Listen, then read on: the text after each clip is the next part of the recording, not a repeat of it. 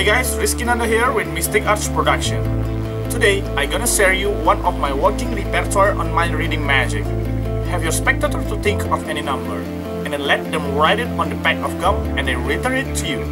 When the moment you get the gum, you are able to access information and reveal it perfectly. 57 You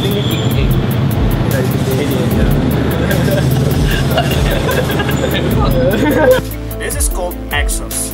So let's check this out.